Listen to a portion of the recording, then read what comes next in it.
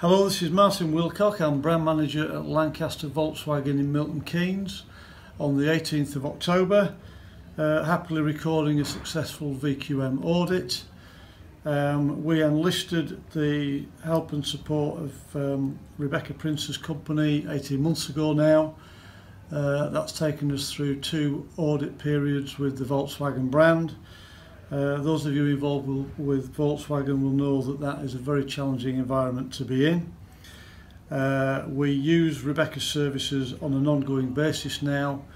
Um, absolutely helps nail down a lot of our process documents in a way that we weren't achieving on our own despite quite a lot of years of management experience um, within my management team.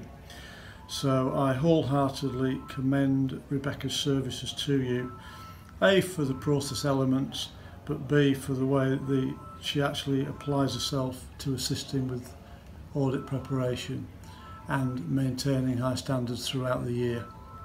That's it, thank you.